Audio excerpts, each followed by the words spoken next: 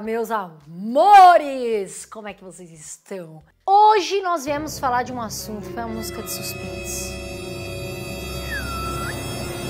IRB. Aquela ação que todo mundo conhece, inclusive Simple. O Simple, ele tá ganhando uma mesada, né, meu filho? E ele quis fazer uma carteira diferente. Ele só investiu na IRB, né, filho? A mesada toda investiu na IRB. 81,80% de desvalorização da IRB esse ano até agora. E aí, compra, vende, o que, que a gente faz com a IRB?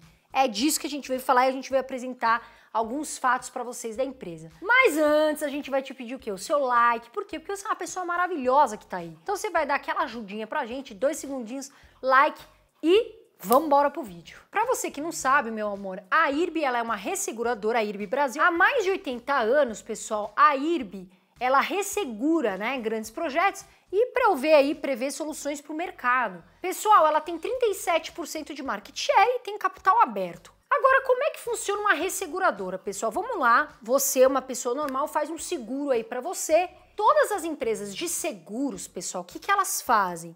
Quando elas precisam, quando elas não querem tomar um risco sozinha, elas vão lá e contratam uma resseguradora para correr, né, para ter aí o risco dividido.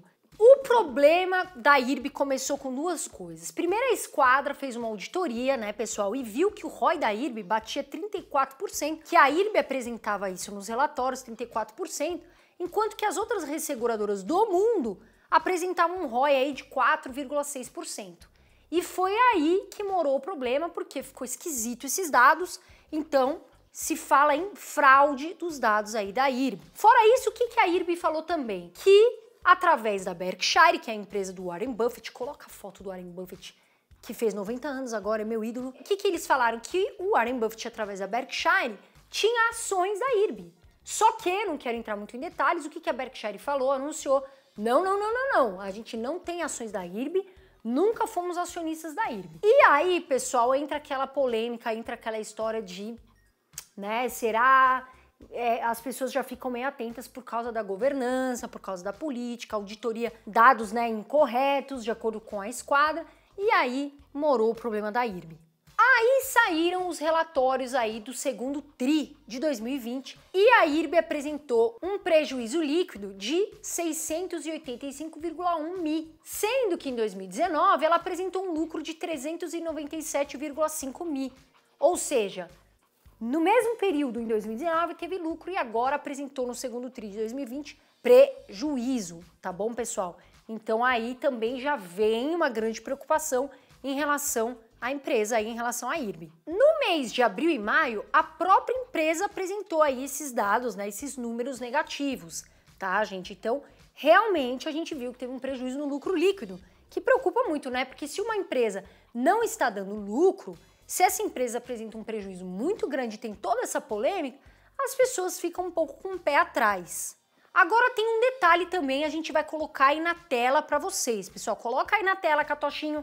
Olha só, a pandemia afetou o resultado de todas as empresas, tá, gente? Não seria diferente com a IRB. Mas olha só, em relação ao pagamento de sinistros, a IRB desembolsou em indenização 2,4 bi no período, tá, gente? Mais de três vezes em relação aí aos 798,7 milhões desembolsados no período de 2019.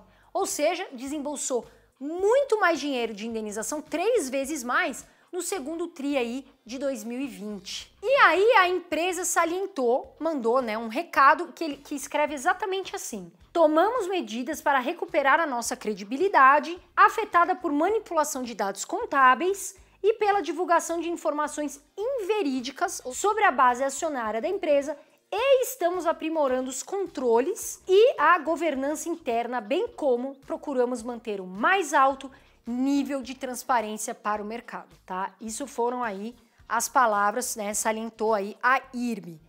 Tá bom, gente? Agora, se você quer saber, presta atenção, antes de eu falar aqui alguns dados importantes, alguns indicadores que a gente vai deixar para você, nós temos uma comunidade no Telegram com conteúdos exclusivos, tá? A gente de graça, quanto mais conteúdo você tiver, melhor, certo? Então faz o seguinte, Catochinho Menino de Ouro, vamos deixar aqui na descrição do vídeo um link do nosso Telegram. E você aí é muito bem-vindo, muito bem-vinda para fazer parte da nossa comunidade. Tá bom, gente? E aí vem a pergunta de um milhão de dólares, que todo mundo se faz, porque é uma briga. A IRB é tipo torcida organizada também. É que nem a Oi, falou da IRB, falou da Oi, vem uma torcida organizada. E aí a gente vai mostrar para você aí na tela os indicadores da IRB. E aí o que, que a gente percebe, né, pessoal, através dessa tabela? PL, muito ruim, margem líquida, ruim, e ROI, muito ruim, que são indicadores importantes. E aí eu te pergunto, você aí, é hora de comprar ou vender as ações da IRB? Pessoal, eu vou falar aqui por mim, tá? Eu escuto muitas pessoas falarem assim, ah, Carol, eu estou investindo na IRB porque está barata, né? Porque acredita que a IRB vai voltar a ser empresa. Que ela era sim, com 80 anos de mercado, a IRB é uma empresa, né, que está muito tempo listada e também na bolsa. Agora, pessoal, a empresa já foi, no passado, positiva, né? Já teve dados positivos. Hoje em dia, a IRB não apresenta mais esses dados e nem os indicadores positivos. E o que eu gosto de salientar, gente, é o seguinte: muitas vezes as pessoas falam assim: eu vou comprar a empresa porque o, o, a ação da empresa, porque lembre-se, quando você compra uma ação, você é sócio daquela empresa, eu vou comprar porque tá barata, então eu vou aproveitar como se fosse uma promoção. Pessoal, muito cuidado com isso, porque o que tá barato pode ficar mais barato. E aí eu vou te responder a minha opinião. Com os indicadores que a IRB apresenta, com todas essas fraudes, né, que que infelizmente esses dados contábeis, né, e com tudo isso que envolve polêmicas da IRB ter falado que a Berkshire era acionista, enfim, eu, Carol, não invisto na IRB nem para curto, nem para médio e nem para longo prazo. Eu não tenho IRB na carteira porque eu não acredito na minha, na minha visão que a IRB vai voltar a ser a empresa que era antes, tá bom, gente? E se você quer conhecer a minha estratégia de investimentos, saber minhas ações, enfim, ativos que eu tenho na minha carteira, nós vamos deixar um card aqui para vocês conhecerem a estratégia que eu invisto, os ativos, enfim, não para que você copie, você precisa estudar, meu amor, eu sempre falo isso. Mas se você quiser dar uma olhada como é que eu divido a minha carteira e também para ver lá as ações que eu invisto, você vai ver que eu não invisto na IRB. Agora comenta aqui embaixo comigo no vídeo. Você acha que está na hora de comprar ações da IRB, vender? Você tem IRB na carteira? O que, que você acha? A IRB vai se recuperar? Comenta aqui embaixo com a gente. E ah, se você viu esse vídeo até o final, você já coloca a hashtag aí, sim, vi até o final. Hashtag sim, vi até o final, pra gente saber que você está vendo os nossos vídeos, porque afinal de contas, é muito importante para nós a sua audiência. Tá bom, gente? Seguinte, menino, o menino Catoche, ó, menino Simple, dá um tchau pra turma, fala tchau, pessoal. Dá um tchau, você fez uma participação especial, né, meu filho? Ele é iniciante na bolsa, porém está com um saldo absolutamente negativo e falou que agora vai investir na PET só, porque é onde ele entende. Tá bom, gente? Beijo de luz. Voa Brasil! Eu quero voar, mas eu quero que você aí acredita também voe. Fica com Deus e até o próximo vídeo.